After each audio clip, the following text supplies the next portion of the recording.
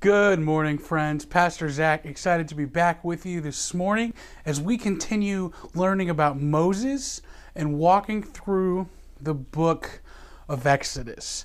Remember, last time that we met, we learned about how Moses was born and how God called Moses through the burning bush. Today, we're going to continue learning about Moses, and we're going to see uh, what Moses and Aaron did and what Pharaoh did to Moses and Aaron and to the Israelites. As we jump in this morning, why don't we start with a word of prayer? God, I come to you now and I thank you for this morning that you've given us. Lord, I pray that we would focus on you today. And as we learn about Moses and Pharaoh, Lord, that we would see, uh, even in the darkest of times, you're still in control. And I pray that we would always turn our hearts to you no matter what is happening in our life. Lord, thank you so much for this time we have together this morning. It's in your name that we pray. Amen. So today's story is really kind of a crazy story. Moses and Aaron go to Pharaoh and they say, Pharaoh, let our people go. Let the Israelites leave Egypt. And Pharaoh says, No. He says, why, why should I listen to you? Who is this God you talk of that says I should let your people go? And he doesn't let them go. And instead, he makes them work super hard. And Moses and Aaron tell Pharaoh that if he doesn't let the people go, God is going to send plagues on Egypt, which means different things are going to happen. Pharaoh still doesn't listen. I want you to listen. I wrote them down here so I would get them in the right order. The 10 different plagues that happened in Egypt. Okay, so the first one was that God turned the water in the Nile River, which is the longest river in the world, into blood. That, that would be terrifying. If you're walking up to get water and all of a sudden the entire river is blood. So that was the first one. Pharaoh didn't change his mind. So then God sent frogs. Frogs aren't necessarily scary, but when you're overtaken by them, when there are millions of frogs, they could be pretty scary. Pharaoh still said, No, not going to let your people go. Then that turned into gnats, which are like flies. And then after the gnats came the flies. And after that, all of the livestock died. So that's five plagues. Still, Pharaoh said, No, I will not let your people go. Then God put boils on everyone, which is like kind of like a blister, so it would scratch and it would hurt. Everyone had those. Still, Pharaoh said no. And then he sent an intense hailstorm. If you've ever seen hail, it's it's ice, and sometimes it can be. In Missouri, I know one time my brother had a, a, a piece of hail that was the size of his palm. It was really big. Still, Pharaoh said no. Then locusts came. Still, Pharaoh said no. And then Pharaoh, or Pharaoh, excuse me, then God made it dark for three days. So all of a sudden, the lights went out. It was darkness for three days. And Pharaoh still said, No, I will not let your people go. So then God told Moses and Aaron, Go tell Pharaoh there will be one more plague, and then I will he will let your people go. And they went and told him he didn't listen. And God said that the, the next plague was going to be that the firstborn of all the Egyptians, or the firstborn male of all the Egyptians, was going to die.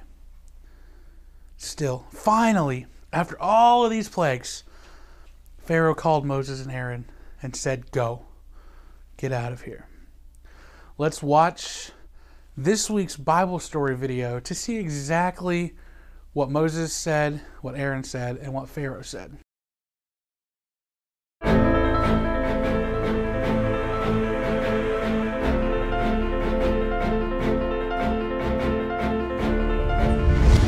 God's people, the Israelites, were slaves in Egypt.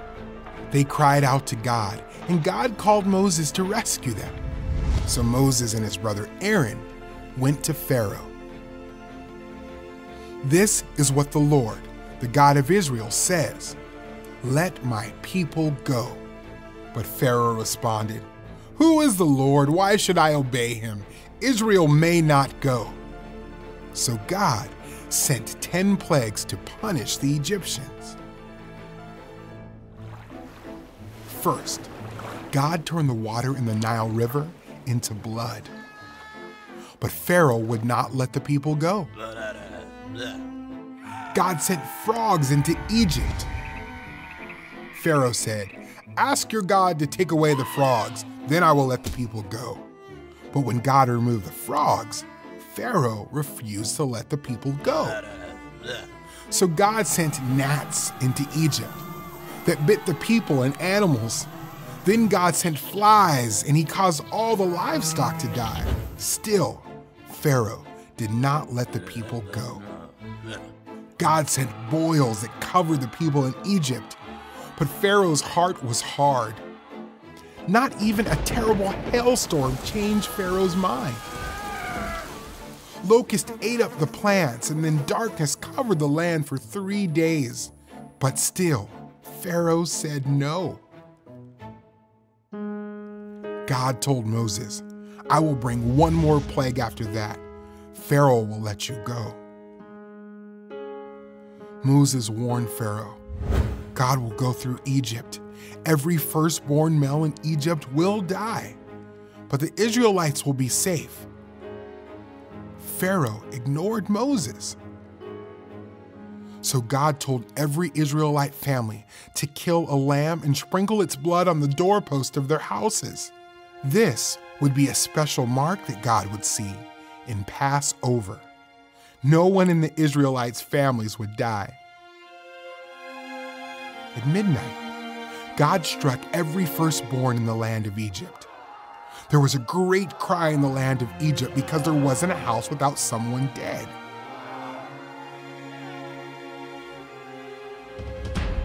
Pharaoh called for Moses and Aaron. Go, he said. The Israelites were ready, a whole army of them, 600,000 men and their families, left Egypt quickly. They took bread and their animals. They asked the Egyptians for gold, silver, and clothing. The Egyptians gave them what they wanted. God led his people out of Egypt. He was preparing a place for them in a land called Canaan. For 430 years, the Israelites had been slaves in the land of Egypt. They were finally free.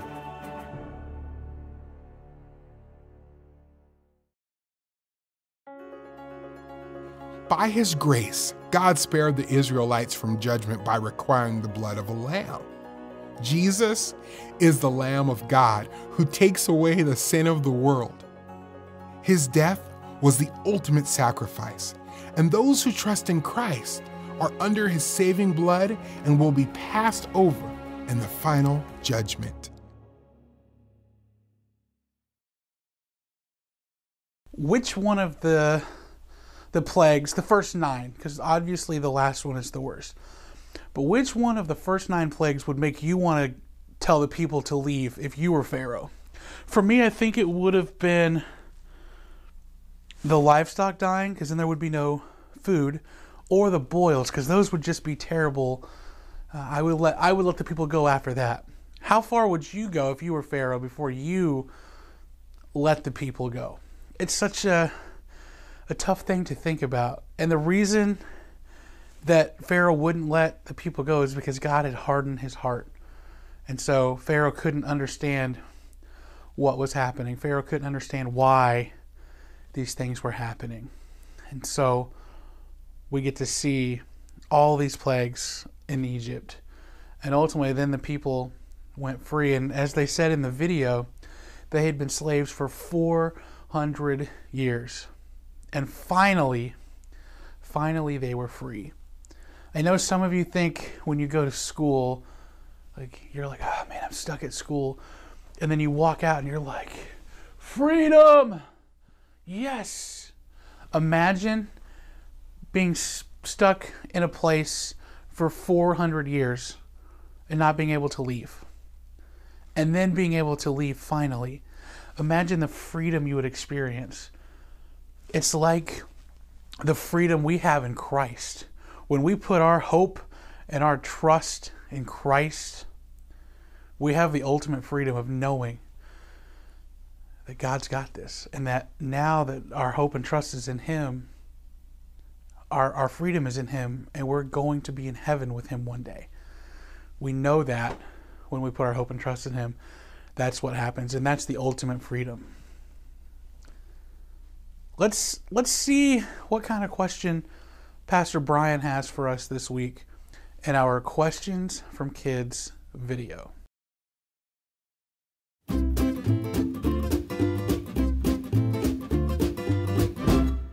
Hey there, I'm Pastor Brian, and it's time for Questions from Kids. Andrew from Sitka, Alaska asks I heard about some bad storms on the news, and a lot of people got hurt. Did God make those storms happen? Andrew, that is a good question. And you know, we saw some of this in the Bible story today, didn't we? That God sent plagues on purpose over Egypt to discipline the people because they were not believing Him and they were rejecting Him and rebelling against Him. And so he sent these plagues that were really difficult for the people to endure, and they suffered because of them, but he sent them for a reason to show that he is real and give them a chance to repent and trust in him, although they didn't. You know, we have to be careful about reading a story like the plagues in Exodus and say that God sends all storms, all natural disasters just to punish people. That's not quite the case because we live in a sinful, broken world. And in a sinful, broken world, natural disasters happen. And so sometimes they might be sent by God, but often they're probably not. It's just the world that we live in. So, how can we trust God when we see bad things happening?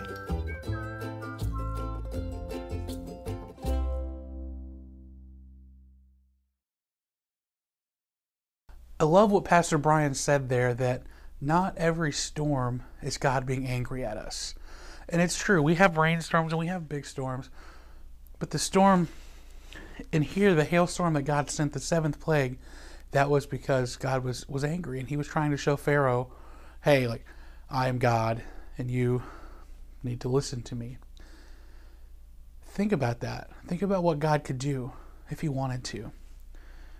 I, I love nature. I love seeing weather. You know, we had snow this last week. I love the snow.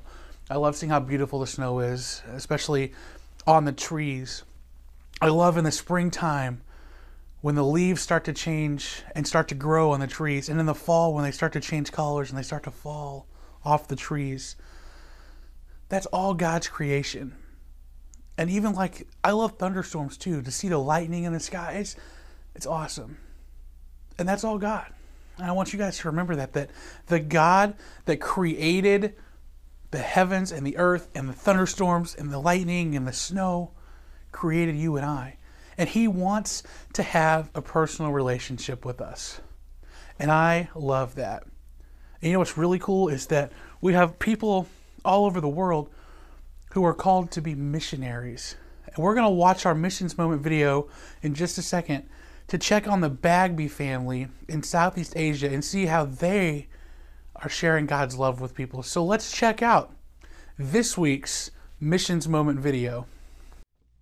The Bagby family lives in Nepal, a country in South Asia. They moved there so they could tell the Tibetan people about Jesus Christ. To be Tibetan is to be Tibetan Buddhist. Buddhism is a religion that is not based on the gospel of Jesus Christ. The Bagbys want the Tibetans to know the one true God, and they want them to be able to trust that all things work for good for those who love Him the Bagbys witnessed God's big love for the Tibetan people and his good plans when they had been in Nepal for only a few months. Four months after we came, the house started shaking. We were coming off the ground, up and down. An earthquake had destroyed many homes and businesses in the Bagbys city and surrounding villages. But God used this difficult situation to give the Bagby family and other Christian volunteer teams a reason to enter new villages where people needed to hear the good news of the gospel. These teams worked to rebuild homes, provide medical help, and care for those in need. The Tibetan people they met had lost a lot, but the Bagbys were able to give them something even greater hope in the gospel of Jesus Christ.